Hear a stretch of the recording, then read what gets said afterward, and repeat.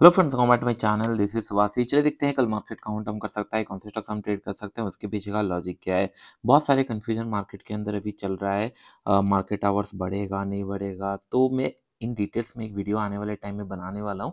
अगर market hours बढ़ता है तो क्या इफ़ेक्ट रहेगा? इफ़ेक्ट से ज़्यादा आप लोगों के पास क्या अपॉर्चुनिटी रहेगी ट्रेड करने के लिए या फिर माइंडसेट क्या होना चाहिए? इन डिटेल्स में हम लोग उसको डिस्कशन करेंगे। मोस्ट प्रॉब्ली मैं ये वीकेंड में ट्राई करूँगा आप लोगों के लिए बनाने के लिए आने वाले वीकेंड में। अभी हम लोग कंसनट्रेट करते हैं मार्केट कहाँ मूव कर सकता है क्योंकि तीन चार दिन से साफ़ सेल ऑफ़ आ चुका है। निफ्टी भी कंटिन्यूसली फॉल हो रहा है। अभी लोगों को लग रहा है सपोर्ट एरिया के आसपास से ये टर्न अराउंड होना चाहिए। लेकिन थोड़ा सा सेलिंग प्रेशर कहीं ना कहीं दिख रहा है तो अभी हम लोग का प्लान ऑफ़ एक्शन क्या होना चाहिए? चलिए पहले हम लोग डेली चार्ट में देखते हैं वीकली चार्ट में भी देखेंगे। एक ही चीज़ का यहाँ पे मुझे डर है, अगर आप लोग यहाँ पे देखोगे, एक ट्रेंड लाइन आप लोगों को मिल जाएगा समय अराउंड इस तरीके का। यहाँ से अगर हम लोग प्राइस एक्शन देखेंगे, ये कुछ अच्छा प्राइस एक्शन नहीं है बायर्स के लिए। अगर इसके नीचे thirty nine thousand five hundred के नीचे अगर ये ट्रेड करना स्टार्ट कर देता है तो फिर हम लोग को बड़ा टारगेट देखने मिल सकता है। Near about thirty three thousand भी हम लोग एक्सपेक्ट कर सकते हैं आने वाले टाइम में। अगर इसके नीचे आता है नो डाउट यहाँ पे भी एक सपोर्ट है। लेकिन ये एक चार्ट पैटर्न है। आप लोगों को पता होगा ये एक चार्ट पैटर्न है। जनरली हम लोग हेड एंड शोल्डर एक फ्लैट लाइन में देखते हैं कि हाँ इस तरीके का कुछ हेड एंड शोल्डर बनाए ये पिक्चर परफेक्ट रहता है। लेकिन जो ट्रेंड लाइन के साथ रहता है, वो ज़्यादा इफ़ेक्टिव रहता है क्योंकि ये अप ट्रेंड में रहता है। ट्रेंड लाइन के साथ है मतलब अप ट्रेंड में है। अगर ये हेड एंड शोल्डर इस तरीके से ब्रेक करता है तो अच्छा टारगेट देखने के लिए मिल सकता है। यहाँ से लेकर अगर हम नीचे प्रोजेक्ट करेंगे अगर 36 या 34 भी आता है तो बहुत ज़्यादा अच्छा है लेकिन यहाँ पे अभी तक ब्रेक नहीं किया है। 39,500 या फिर इसका जो स्विंग है उसके नीचे आने के बाद ही हम लोग डिसाइड कर सकते हैं। सेलिंग फास्ट करेंगे या नहीं करेंगे। तो चलिए अब हम लोग वीकली एनालिसिस कर लेते हैं। एक पॉइंट ध्यान में रखो let it break first swing के आसपास अभी ट्रेड कर रहा है, अगर इसी लेवल से रिवर्स हो जाता है तो हम लोग बायर बाइंग में बने रहेंगे, लेकिन इसके नीचे अगर आना स्टार्ट करता है, ये स्विंग के नीचे तो सेलिंग का प्रेशर आ सकता है। इन दिस कंडीशन अगर वीकली चार्ट्स में देखेंगे, यहाँ से एक सेल ऑफ़ आया। मैंने आपको ये पॉइंट बताया था कि नहीं, जहाँ पे ये ब्रेकडाउन हुआ है, इस लेवल के आसपास रेजिस्टेंस हो सकता है, और यहाँ पे दो दिन, दो वीक वेट करने के बाद फिर से नीचे की तरफ़ मूव किया है।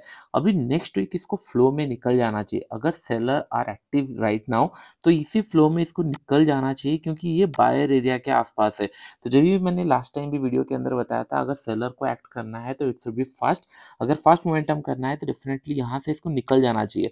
अगर इस लेवल पे वेट कर जाता है थर्टी से लेकर फोर्टी के बीच में अगर नेक्स्ट वीक क्लोजिंग देता है, इसी रेंज के आसपास अगर कहीं क्लोज देता है तो फिर आने वाले टाइम में स्लो एंड स्टडी ऊपर की तरफ़ जा सकता है। लेकिन अगर ये पाँच सौ हज़ार पॉइंट डाउनफॉल दे देता है, यहाँ से सेलिंग फास्ट है थोड़ा सा अगर नीचे आ जाता है, फिर हम लोग को यहाँ से कंटिन्यूसन में मिलेगा। दैट मीन्स पहले हम लोग सेलिंग के लिए थोड़ा सा प्लान करेंगे, फिर उसके बाद अगर ये फिर ब्रेकआउट दे रहा है या फिर डब्ल्यू पैटर्न बना के रिवर्स कर रहा है, तभी हम लोग बाइंग करेंगे क्योंकि सपोर्ट एरिया के आसपास है। लेकिन जो प्रीवियस ट्रेंड अभी दिख रहा है, वो सेलिंग का दिख रहा है तो गो विद द ट्रेंड जब तक ये दिखता नहीं है कि नहीं, बाइंग के लिए आ चुका है।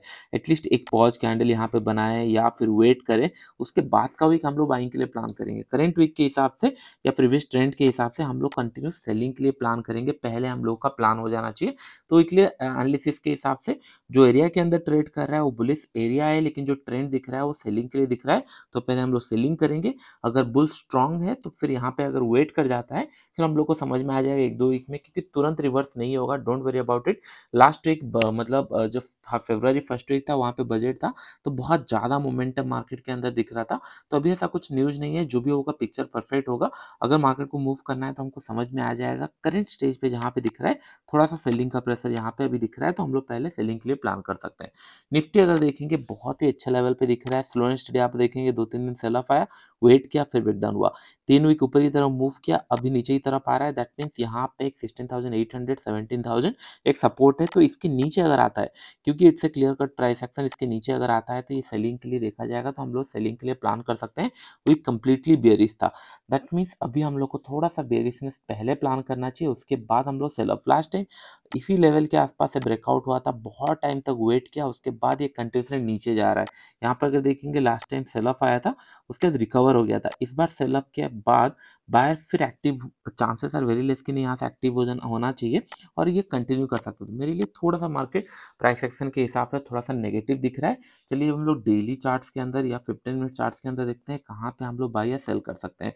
मार्केट गैप अप खुला एक पॉइंट हम लोगों ने डिस्कशन किया था, अगर गैप अप खुलता है तो इस लेवल के आसपास अगर कोई बुलिस कैंडल बनाता है, तब हम लोग बाई करेंगे। लेकिन स्लो एंड स्टडी ये नीचे की तरफ़ आता रहा और क्लोजिंग भी थोड़ा सा नेगेटिव दिया that means thirty nine thousand eight hundred thirty nine thousand seven hundred इसके नीचे अगर निकलता है तो हम लोग सेलिंग के लिए प्लान करेंगे। बाइंग के लिए हम लोग तभी प्लान करेंगे जब ये फोर्टी थाउज़ेंड के ऊपर क्लोजिंग दे। तो एक दिन हमको वेट करना है बाइंग के लिए फोर्टी थाउज़ेंड वन हंड्रेड या फिर फोर्टी थाउज़ेंड के ऊपर अगर क्लोजिंग देता है दैट मीन्स ये एरिया बेस बना रहा है, तभी हम लोग सेल करेंगे। अगर यहाँ से ये फ्लैट खुला या नीचे खुलने के बाद अगर कंटिन्यू जा रहा है दैट मीन्स प्राइस एक्शन ये नीचे की तरफ़ बना रहा है। तब हम लोग सेलिंग के लिए कंटिन्यू कर सकते हैं thirty nine thousand eight hundred eight fifty या फिर सेवन हंड्रेड इस लेवल के आसपास अगर मिलता है, पचास से सौ रुपये स्टॉप लॉस होना चाहिए। वन टू हम लोग का मिनिमम टारगेट रहेगा। हम लोग सेलिंग के लिए प्लान करेंगे क्योंकि प्राइस एक्शन थोड़ा सा यहाँ से नेगेटिव दिख रहा है।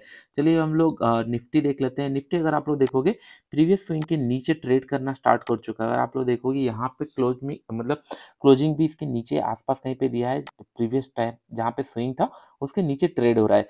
सेवनटीन थाउज़ेंड सिक्स हंड्रेड के ऊपर ही हम लोग बाई करेंगे। करंट लेवल पे हम लोग प्लान नहीं करेंगे। दैट मीन्स ये एरिया सेलर का है। फ्लैट खुले या थोड़ा सा गैप डाउन खुले, हम लोग कंटिन्यू सेलिंग के लिए प्लान कर सकते हैं। नो डाउट अगर डेली चार्ट देखेंगे निफ्टी कंटिन्यूसली पाँच या छः दिन से नीचे की तरफ़ आ रहा है। अगर आप लोग यहाँ पे देखोगे सेलअप कंटिन्यूसली यहाँ पे तीन चार दिन से है तो एक हम लोग को रिवर्सल कहीं ना कहीं देखने मिल सकता है, लेकिन रिवर्सल कहाँ मिलने से अच्छा हो अगर बहुत बड़ा गैप डाउन खुल जाएगा?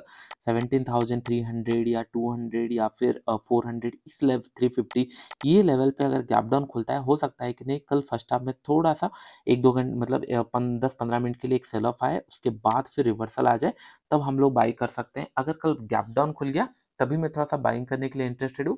फ्लैट खुला या अप खुला थोड़ा सा मुझे कहीं ना कहीं सेलिंग का प्रेशर फिर से मिल सकता है। एक या दो दिन अगर होल्ड करता है, तभी हम लोग बाई करेंगे। कल अगर बहुत बड़ा gap down bank Nifty Nifty के अंदर खुलता है ऑलमोस्ट डेढ़ सौ से दो सौ point bank Nifty Nifty almost hundred point के आसपास अगर गैप डाउन खुलता है, तभी हम लोग थोड़ा सा रिवर्सल के लिए प्लान करेंगे।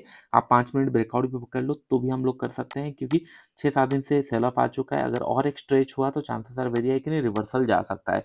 वो भी पॉइंट आपको समझ में आ रहा होगा। अभी थोड़ा सा नेगेटिव बायस में ज़रूर हम लोग हैं, लेकिन डेली कैंडल के हिसाब से देखने से एक रिवर्सल आ सकता है, उसके बाद फिर कंटिन्यू हो सकता है।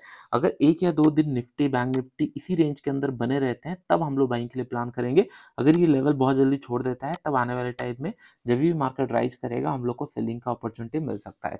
चलिए अभी हम लोग स्टॉक देख लेते हैं, पहला स्टॉक है एमएनएम बहुत अच्छा ये कंट्रीज़ मोमेंटम में था, यहाँ पर ब्रेकआउट दिया था, लेकिन ये ब्रेकआउट फेल होते हुए दिख रहा है और शार्पली नीचे की तरफ़ आ रहा है। अभी हम लोगों के पास एक गैप यहाँ पे पेंडिंग है तो डेफिनेटली एक सेलिंग प्रेशर फिर से मिल सकता है। उसके नीचे 1240 के आसपास भी ये जा सकता है। 1278 या फिर सेवेंटी नाइन सेवेंटी सेवन इसी लेवल के आसपास हम लोग सेल कर सकते हैं। पाँच से छः रुपये स्टॉप लॉस होना चाहिए वन टू मिनिमम हम लोग का टारगेट रहेगा। नेक्स्ट स्टॉक है टाटा स्टील एक गैप डाउन खुलने के बाद एक एग्रेसिव दिख रहा है। यहाँ पे प्राइस एक्शन भी एक सेल ऑफ़ की तरह दिख रहा है लोअर लो फॉर्मेशन करते जा रहा है। अभी और एक स्विंग है नीचे की तरफ़, अगर ये ब्रेक करता है तो 107 भी हम लोग को मिल सकता है इंटरडे के अंदर। 109 या 109.50 के नीचे हम लोग इसको सेल कर सकते हैं। एक से दो रुपया स्टॉप लॉस होना चाहिए। वन टू मिनिमम हम लोग का टारगेट रहेगा। नेक्स्ट स्टॉक के पावर ग्रिड अगर हम लोग देखेंगे तो एक लेवल पे कंटिन्यूसली वेट कर रहा है। सेलिंग का प्रेशर नोट आउट यहाँ पे था, लेकिन यहाँ पे कहीं ना कहीं एक सपोर्ट फाइंड आउट कर रहा है। अगर कल एक अच्छा फ्लैट खुलता है या फिर टू वन सिक्स के आसपास अगर ये मिलता है, तब हम लोग इसको बाई कर सकते हैं। दो से तीन रुपये स्टॉप लॉस होना चाहिए वन टू मिनिमम हम लोग का यहाँ पे टारगेट रहेगा। एक अच्छे लेवल पे अपने आप को होल्ड कर रहा है। अपोलो हॉस्पिटल अगर आप लोग देखोगे, एक पोलैंड फ्लैग का पैटर्न बन सकता है। एक मोमेंटम किया है और यहाँ से तीन चार दिन सेल ऑफ़ के बाद एक अच्छा यहाँ पे बुलिस कैंडल बनाया है, समय अराउंड ये मोमेंटम का फिफ्टी परसेंट के आसपास बनाया है तो यहाँ पे बुलिस मोमेंटम पॉसिबल हो सकता है। फिर से ये फोर्टी फाइव हंड्रेड के ऊपर निकलने का कोशिश करेगा। फोर फोर सेवन फाइव के ऊपर हम लोग इसको प्लान कर सकते हैं बाई करने के लिए। दस रुपये का मिनिमम स्टॉप लॉस होना चाहिए वन टू मिनिमम हम लोग का टारगेट रहेगा। यू भी सारे पॉइंट आप लोग को समझ में आ रहे होंगे। वीडियो चलो लाइक है अभी इतना ही। Thank you